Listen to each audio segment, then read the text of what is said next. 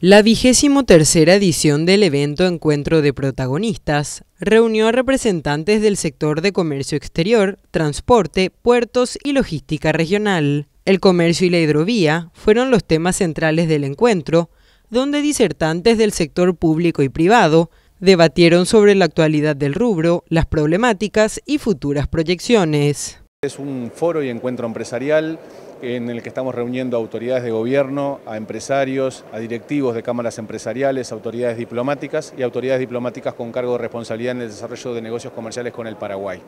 Es una actividad en la cual eh, acostumbramos generar un clima muy disfrutable, donde empresarios de muy alto nivel, que están vinculados directamente a temáticas de hidrovía y comercio exterior, se reúnen para interactuar, para descubrir oportunidades de mejora, para plantear inquietudes al sector de gobierno sobre temáticas que de repente se pueden optimizar, mejorar, para reducir tiempos, disminuir costos, mejorar eh, operativas que le den más competitividad al comercio exterior del Paraguay básicamente.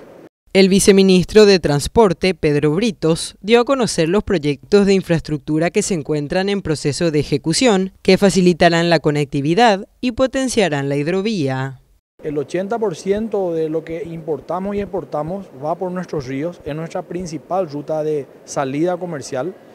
Y hoy estos proyectos, la reconstrucción de la Traschaco, la ruta bioceánica, el puente que va a unir Chaco y con Asunción,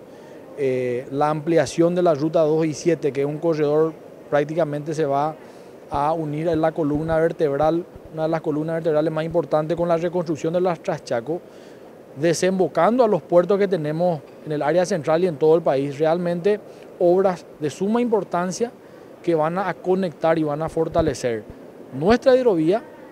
en un crecimiento portuario. Estamos hablando que en Carmelo Peralta hoy ya hay proyecciones de desarrollos portuarios importantes que se va a estar viendo.